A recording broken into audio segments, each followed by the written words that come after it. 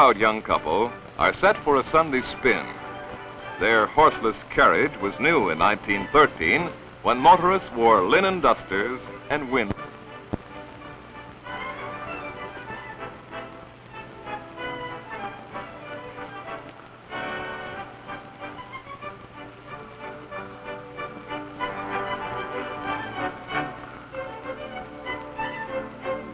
Things were tough for the people who owned the first automobiles. Horse and buggy roads were hard on automobiles. Every man who bought a car joined the campaign for better highway. Motorists pinned their hopes on the new State Highway Department, organized in 1905. They supported legislation that gave the department authority to build trunk lines between the major cities. These trunk routes became our first state highways. Shortly afterwards, the department was asked to help the towns plan and finance road construction. The federal government began to contribute in 1916 when Congress passed the first Federal Aid Highway Act. We owe our modern highways the cooperation of town, state, and nation. They're working together to give us better roads. The State House in Augusta is headquarters for the hundreds of men who work at the job of building and maintaining the state's highway network. Let's go upstairs to the Highway Commission offices. Meet Mr. Lloyd B. Morton of Farmington, chairman of the State Highway Commission, and his fellow commissioners, Mr. Cornelius J. Russell of Bangor, Mr. Harley D. Welch of Ch These three men, who are appointed by the governor, direct the work of the department. It's up to them to make the important policy decisions. Mr. Lucius D. Barrows has been a member of the department since 1910 and chief engineer since 1927. This electric eye counter helps the commissioners to settle a big question. Where will new construction benefit the greatest number of people? What roads take the heaviest traffic? Every time your car passes one of these counters, it interrupts the invisible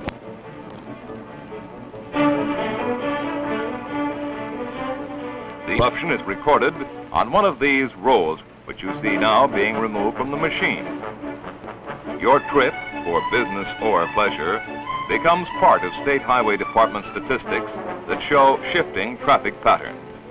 There are 10 of these stationary electric eye counters in different parts of the state.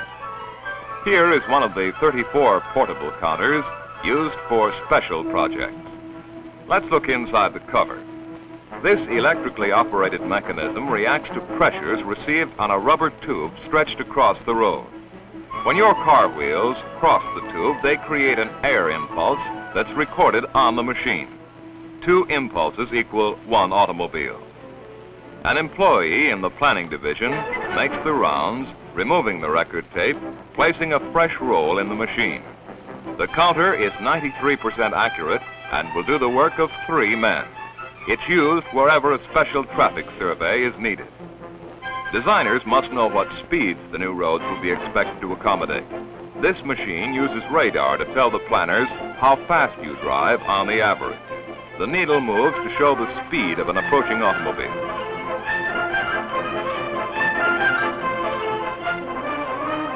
A planning division worker records the dial readings. His report will help the engineers to design safer highways. It's one thing to gather information, another to interpret it. Tabulators in the planning division assemble reports that will tell the engineers how many automobiles will be on the road and how fast they'll be driving. They tell him how many heavy trucks will use his new highway. He bases the design of the road, its width, grading, and resurfacing on this information.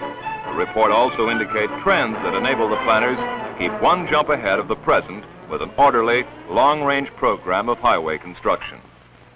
Planning has indicated that a cutoff is needed at this spot. Surveyors run the center line of the new road through a cow pasture.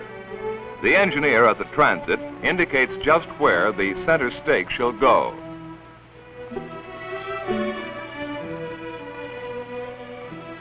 His assistant pounds it down. It's one of hundreds of painstakingly placed markers. We're ready now for the next stake. A surveyor moves the red and white pole in response to the transit man's signals. finds the exact spot. Let's double check that. He notes down the distances. The surveyors have measured 50 feet out from the center for this side stake that will guide the construction crews after the center marking has been obliterated.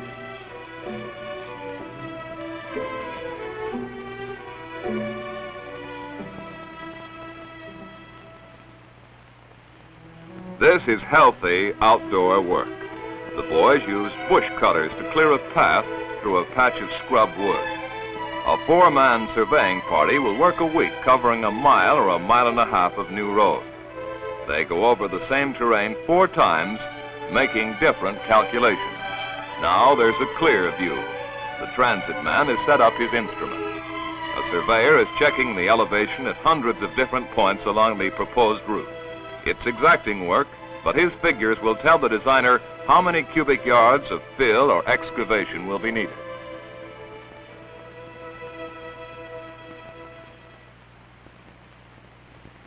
Engineers want to know what kind of soil will be under the roads and bridges they're designing. This raft and the equipment mounted on it helps to take soil samples, even in deep water. The hammer is driving a hollow cylinder deeper and deeper into the underwater mud. Now, water is forced down the pipe under pressure to wash bore a deeper hole. Workers have brought up the soil sample. They're ready to dismantle the pipe and unscrew the section that contains the soil. These men take great pains to make sure that the sample remains undisturbed. They prepare it carefully for shipping. A brass cap covers one end.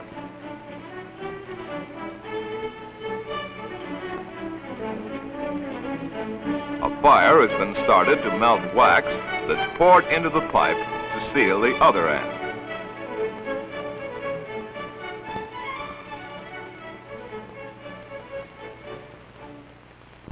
The sample goes to the soils laboratory at the University of Maine, where a worker splits open the cylinder. The laboratory is ready to begin a series of tests that will show the characteristics of the soil. A compaction test is started by a University of Maine student who gets practical experience in the laboratory, run as a cooperative activity of the university and the highway department. Now the pressure is on. The series of gauges controls a machine that applies gradually increasing weight to an unsupported column of earth. Experts will judge the strength or bearing capacity of the soil by noting the point at which it begins to break. When the column fails, usually by shearing off at an angle, the engineer will know how much of a load the soil will carry.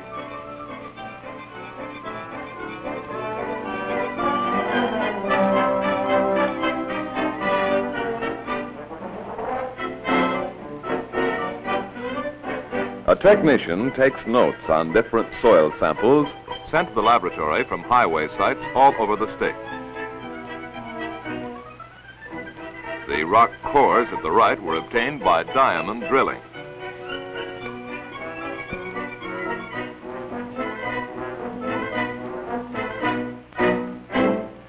The laboratory worker puts small steel balls inside this cylindrical tumbler. Next, he adds weighed and sieved rock for a test that will indicate the wearing quality of the rock. The cover fits on tightly and is fastened by bolts. Now the cylinder revolves, knocking rock against metal. If the rock is soft, it will wear in the tumbling process. If it's hard, there will be little change. Worker has emptied the cylinder, and now he's shaking the sifter vigorously to separate dust and rock. The worn down rock left in the sieve goes on the scale.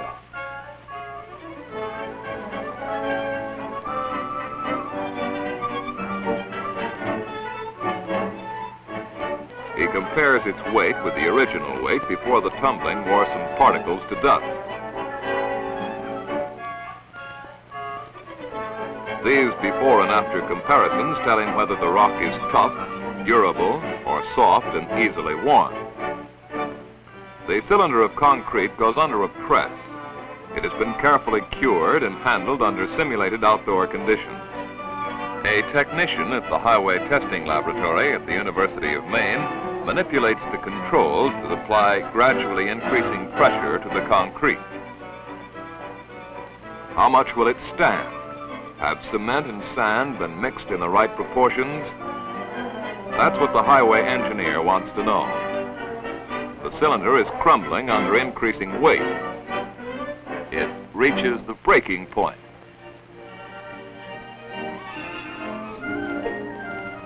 Here are the engineers who tie it all together. In the drafting room in Augusta, they consider the statistics of the planners that reflect your driving needs and the technical data of the surveyors and soils experts.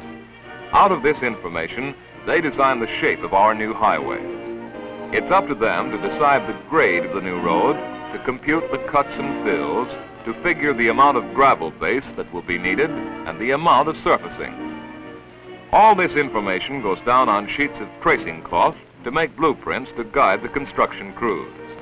The engineers work out every aspect of the job in detail.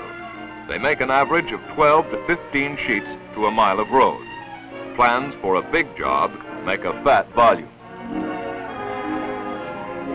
Henry D. Fallon at the left of the U.S. Bureau of Public Roads talks over construction plans with Ernest L. Merrill who has charge of construction on Maine's trunk highways. This room at the Highway Department is the scene of a frequent drama. Private contractors gather here to find out which one of them will be awarded the big road and bridge construction jobs planned by the department.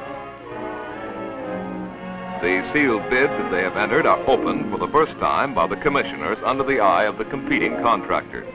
One of the commissioners is holding a bid in his hand. He slits open the envelope.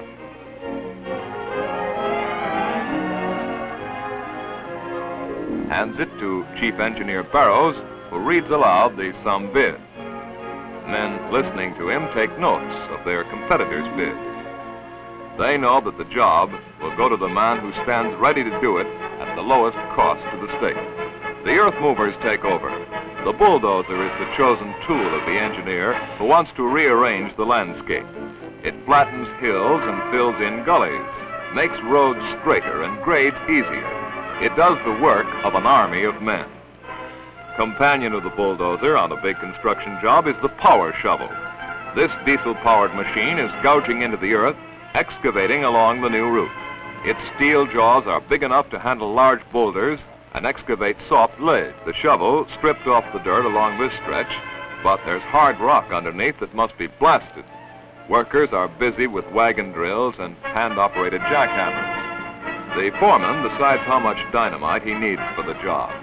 Different colors of these lead wires indicate the interval between the setting off of the charge and the blast. The attached exploder fits into the end of the dynamite stick. Now a half hitch with the wire so the dynamite and the exploder can be lowered down the hole deep into the heart of the rock. More dynamite follows the wired stick. They tap it down with a pole, and now his helper fills the hole with dirt.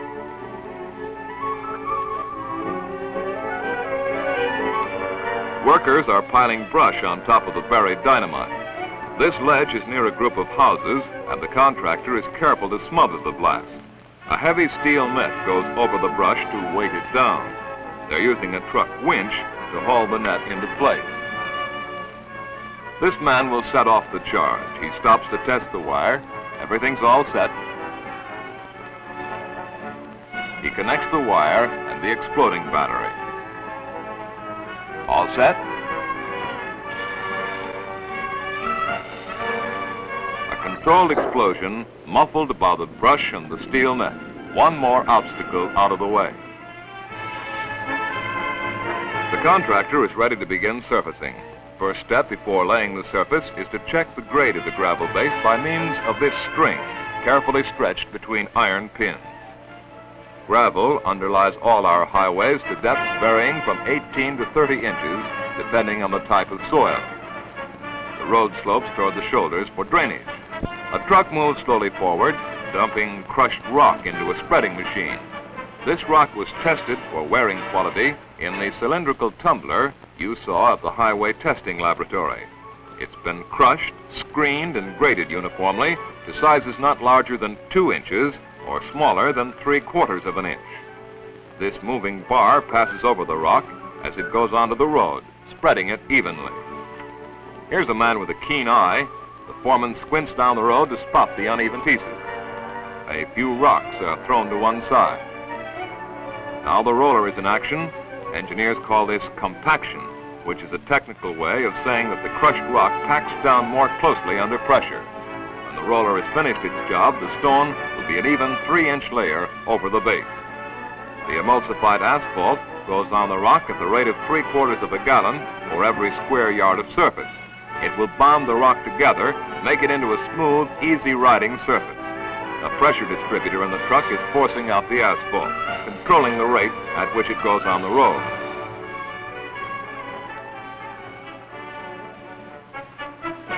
More rock. This is keystone, graded to a size of one half to three quarters of an inch. It fills in the spaces between the larger stones. Men in the truck keep the rock shoveled into the spreader, which drops it evenly on the road.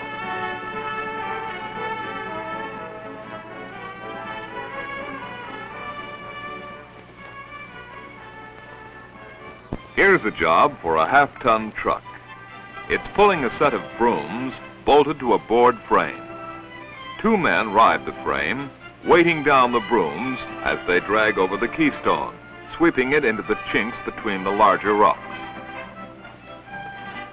The second coat of asphalt goes on at the rate of one and a quarter gallons for every square yard. The crew repeats the process that you've just seen as the layers of surfacing are built up.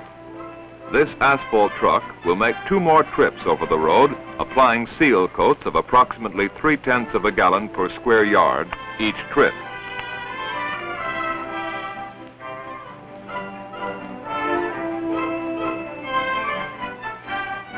More keystone is shoveled into the spreader. It will be tightly bonded between the different layers of liquid asphalt. Workers surface a long stretch of road in sections.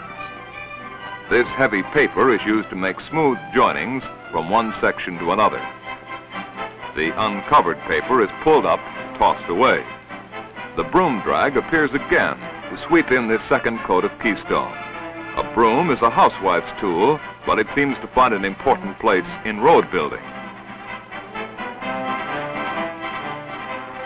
After each layer of rock, the roller is on the job, packing it down under 10 tons of pressure. This roller will give the new road the compactness it needs to stand up under the pounding of traffic. Here's our finished road and surveyors are busy again. They're taking cross sections at right angles to the line of the highway. When they've finished, their figures will show how many yards of dirt and rock have been removed. This determines how much is due the contractor will be paid according to the amount of material he has moved. Back at the State Highway Department office, engineers are working up plans for a new bridge. They've started complex computations for the structure that will replace an old, unsafe bridge in one of our smaller Maine towns. Bridge design is one of the most exacting engineering jobs. Here, the slide rule, nicknamed a slipstick, goes into play as the engineer makes a calculation dealing with the stresses. Reconstruction of the bridge has already been approved at a hearing by town, county, and state officials.